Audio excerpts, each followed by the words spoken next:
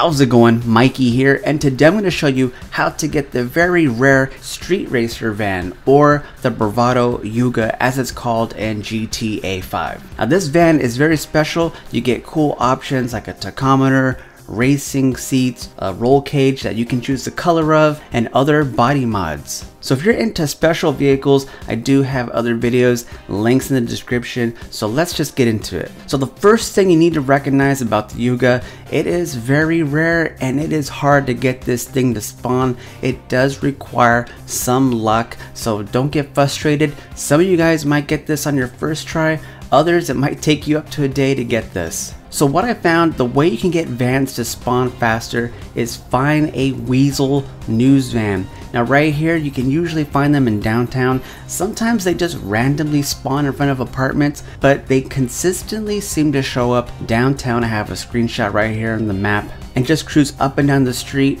cruise for a distance so that way the cars refresh and you will usually see them parked. Now once you have a Weazel news van, cruise on down to the docks. That's where Simeon is. That's where you usually bring cars to him. Got a map right here on the screen for you guys. And even then, you may still have to leave the area and then come back. Sometimes I just left my car sitting there and then I would come back to the parking lot.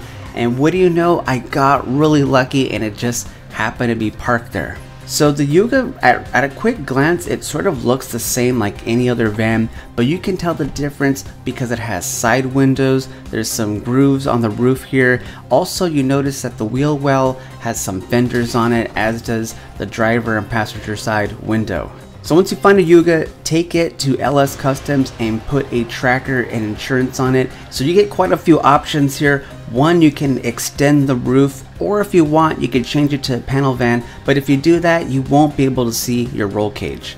As far as bumpers go, you can add a splitter with a tow hook, or you can have a splitter, tow hook, and an oil intercooler on there. You only get one choice of tuner exhaust, but there is an option for a carbon fiber hood. So the tracker is a standard $2,000 and insurance is pretty cheap at only 2k also. Like I said, you can add a roll cage and this is cool because you can choose the color of this when you choose your secondary paint job, so keep that in mind. Now if you want to lower this thing, you will need to be level 56 in order to slam it all the way and get the sports suspension. So again, keep in mind it is going to require some amount of luck and time but again some of you guys I've heard of people getting this on their first try so while we're talking about rare vehicles as a bonus here on this map I have a location of a submarine for online multiplayer. Links down below to my previous videos. If you want to play with me add me on Twitter Facebook link in the description.